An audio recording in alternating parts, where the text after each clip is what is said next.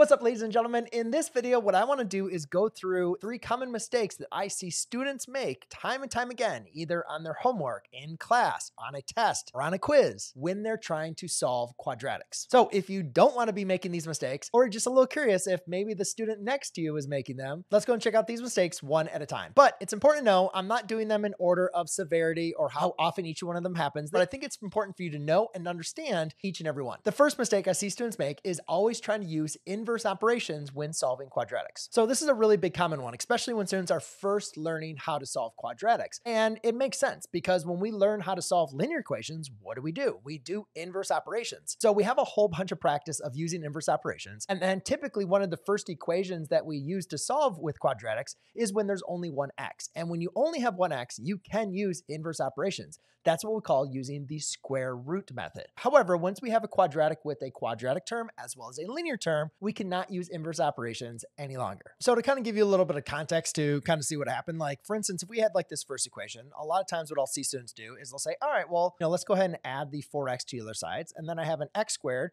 isolated, right? Which is a 12x, you know, plus a 16. And then to get rid of the square root, this is what we previously did. And that was wrong. That was only when there was one x. But again, when we previously did this, we took the square root to both sides. And then I can just, I don't know, I'm just making some things up that are going to be incorrect because, you know, sometimes students will simplify this to be like a plus or minus a 2, square root of 3x, you know, I don't know, plus 4, some kind of weird answers like that. Obviously, you can't have x in the answer. So maybe let's be like, eh, maybe it doesn't exist. And they'll just kind of forget about it or something like that. But again, don't do that. What you simply want to do in this case, they had the right idea, right? Getting everything to one side. So typically what you want to do in this case is actually take this equation. And actually, they had the right idea to get everything over to the same side. However, what we want to do is get everything over to the same side. So therefore we can set it equal to zero. And then maybe something here, you know, we'll see some weird stuff like students will do. They'll say like, oh, let me go and get the five all by itself. And then I get an x squared plus a 4x equals five. And then they say, oh yeah, I'm supposed to factor or something like that. So let's factor out an x. And then I have an x times an x plus four equals five. And then let's use the five product rule, x equals five and x plus four equals five.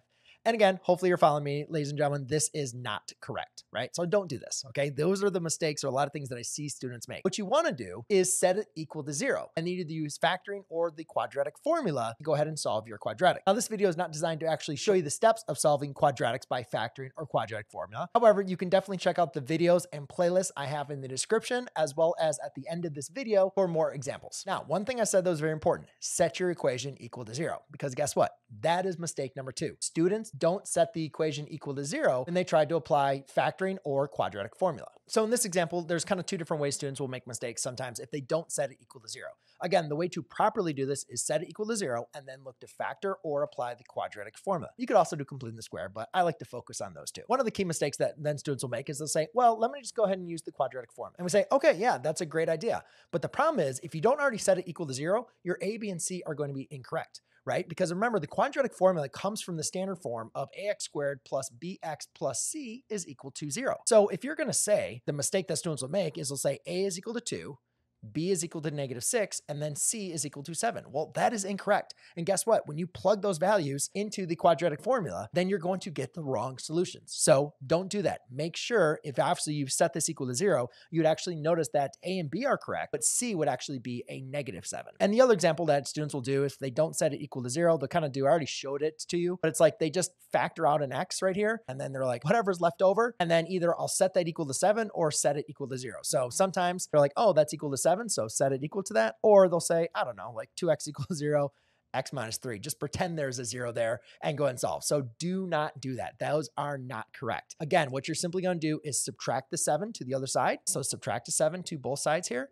And then you have the equation 2x squared minus 6x minus 7 equals 0. And now you can try to see if that is factorable or go ahead and use the quadratic formula. All right, guys, and the last tip is pretty simple, but I see it time and time again because especially when you're first learning solving quadratics, it can be overwhelming with all these different techniques, all these different ways to, you know, solve a quadratic, and especially sometimes the frustrations of practicing with factoring and everything you have to do in your brain. So once students learn the quadratic formula, it's kind of like this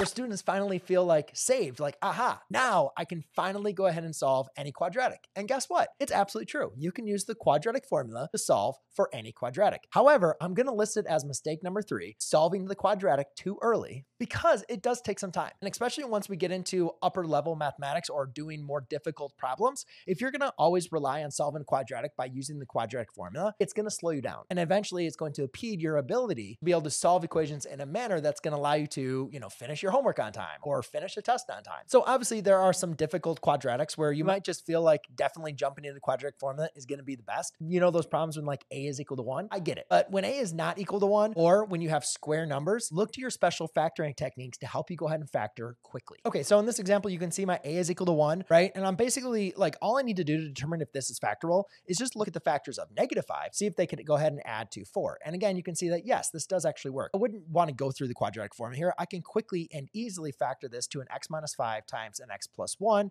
is equal to 0. And hey, guess what? I have a product equal to 0, not any number, a product equal to zero. So therefore, I can actually use the zero product property correctly this time, not a mistake to actually get my answer. So that's actually kind of cool. Now, in the next example, a lot of students will say, uh-oh, I have an a equals one, a is not equal to one. So I'm not even gonna try to factor this, right? But I don't want you to be confused with that because when your first term is a square number and your last number is a square number, you could have a perfect square trinomial. Not always, but you could have a perfect square trinomial. What you want to do is check your middle term. If your middle term is two times the square root of your first and last term, then you have what we call a perfect square trinomial. So just kind of algebraically show that to you, if I have a squared plus a 2ab plus b squared, that's a perfect square trinomial, which can be broken down or factored into an a plus b quantity squared. What we're basically looking for is the same numbers are going to multiply to give you two, and the same number is going to multiply to give you one, right? And that works like two times two and one times one. I'll actually write it down in factored form, and then we can simplify it as a binomial squared because I want you to be able to check your work here.